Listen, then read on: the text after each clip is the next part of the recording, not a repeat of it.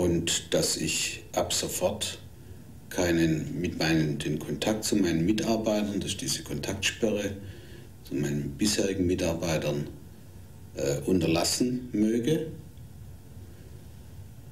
dass das alles weitere so bliebe wie bisher.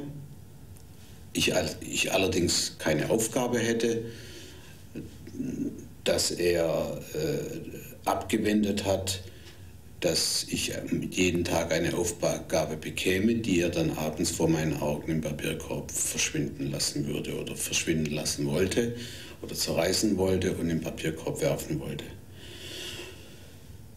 Wenn ich irgendwelche Bedingungen, wenn ich irgendwelche Fragen hätte, könnte ich ins, in, ins Personalbüro kommen. Ich würde dort auch jederzeit eine Tasse Kaffee bekommen, wenn ich möchte und so weiter und so weiter. Telefonieren könnte ich und solche Dinge mehr. Das war alles. Es war im Grunde genommen nichts äh, Besonderes, sondern lediglich so ein paar Rahmenpunkte. Der hat bestimmt noch das eine oder andere gesagt auf Fragen von mir. Ich habe aber vermutlich nicht allzu viel gefragt zu dem Zeitpunkt.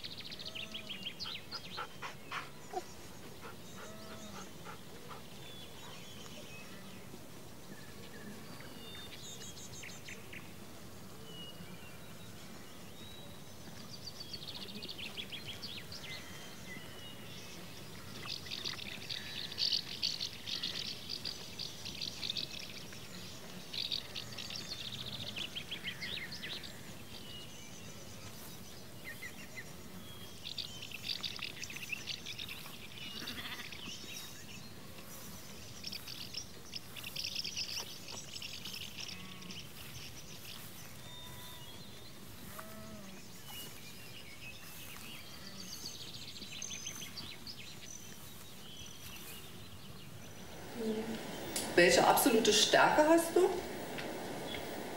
Eine ganz scharfe Eigenschaft jetzt oder Fähigkeit? Nachdenken, nachdenken. Auch Wort nochmal aufschreiben, Stärken immer wieder mal rausholen, überlegen. Es fällt manchen sehr schwer, eigene Stärken zu benennen. Wo stehst du? Und ich, ich, ich würde bei dir mal Notendurchschnitt Vorstellungsgespräch. Und mein Notendurchschnitt ist 2. 2, ist gut. Aus welchem Schultyp? Na, real. Realschule. Wir haben ja auch eine Menge Abiturienten heute. Das ist eine ganz gute Mischung. Erfahren wollte ich hier eigentlich noch was über die Bewerbung, weil ich habe nämlich auch gehört, ähm, dass da die meisten eigentlich durchfallen gleich in der Bewerbung, weil da viele Fehler halt auch immer auftauchen. Und das ist ziemlich wichtig und dann das Vorstellungsgespräch. Ja. Du hast selber noch keine Bewerbung jetzt. Wir haben heute den 6.9.2005 geschrieben. Na, ähm, also Bewerbungen sind schon, ich muss jetzt bloß noch die Adressen finden, aber die Bewerbung so, die hat, ähm, ist für mich also schon hast fertig. du schon mal für dich auch Ja, habe ich schon gemacht. Ja. Gut, okay. Wie lange guckt ein Betrieb überhaupt drauf auf so eine Bewerbung, Ralf? Etwa? Hm, zehn Sekunden.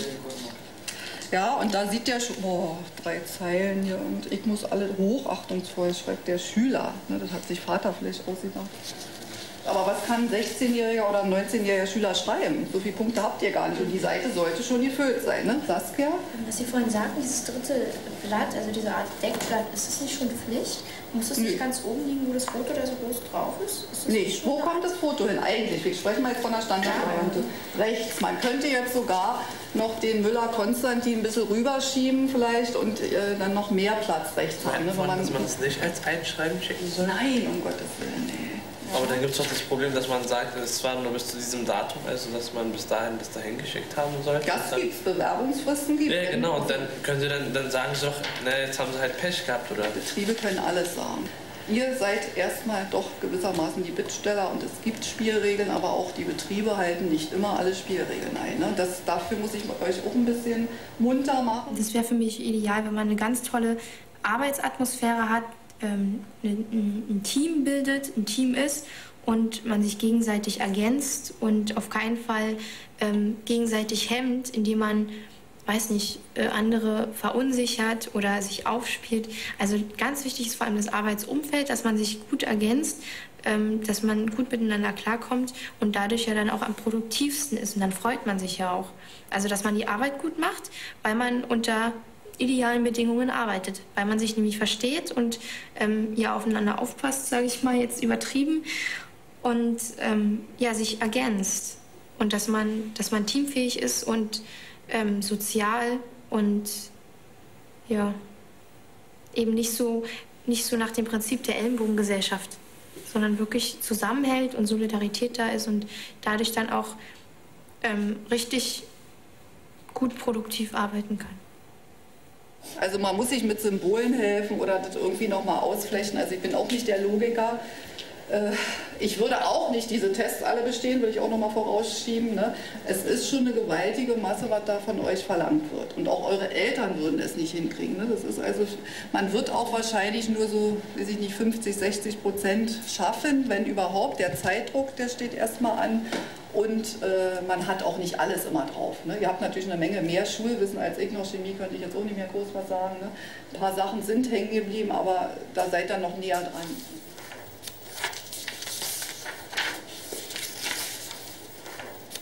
auch gerne gemacht, so ein paar Sachen aus dem Physikunterricht, von Bruch bis Dezimal bis Textrechnen, Maße, Gewichte, Prozentrechnen, Flächenkörperberechnung. Das ganz beliebte ist alles drauf, was man eigentlich immer nicht so richtig kann. Ne? Geht immer davon aus, dass ihr nie 100% bringen könnt.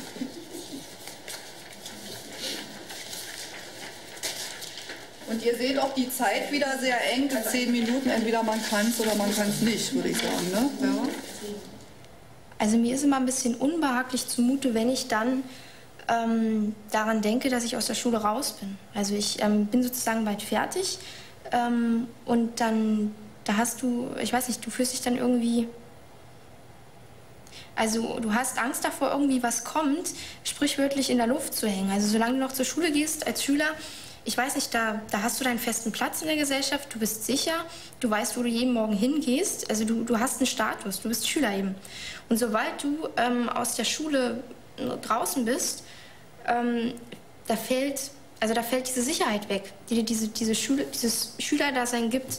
Und ich war zum Beispiel neulich bei meinem Berufsberater ähm, beim Arbeitsamt und fragte ihn, was ist denn, also was,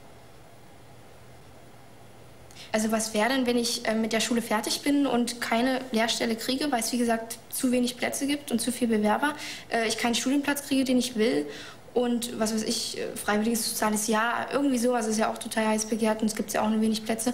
Was ist denn, wenn ich das alles nicht habe? Was bin ich denn dann? Also in dieser Gesellschaft. Und da meinte er nichts. Und das finde ich so krass. Also dass man nichts ist, dass man keinen Status hat. Also man ist auch nicht Arbeitsloser, weil man ja ähm, mindestens ein Jahr gearbeitet haben muss, um als arbeitslos zu gelten, sondern man ist dann einfach nichts.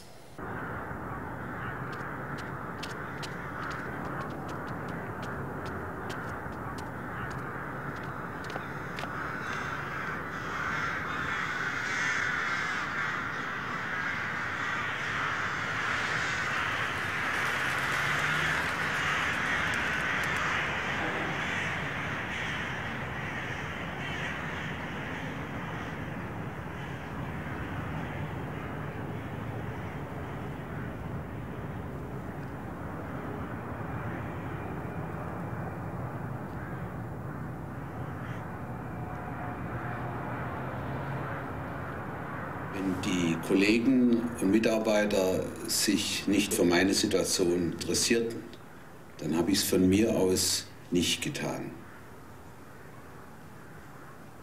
Und ich wusste ja nicht, warum sie darüber nicht reden wollten. War es zu öffentlich? War es peinlich? War es zu verpflichtend? Ich weiß es nicht. Hatten sie Angst? Ich weiß es alles nicht.